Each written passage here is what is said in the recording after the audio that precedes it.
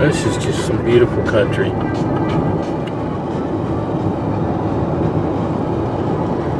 Reference outside of Yarnell, going towards north, going towards Prescott.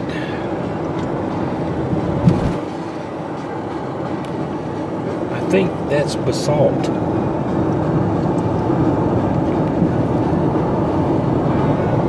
lava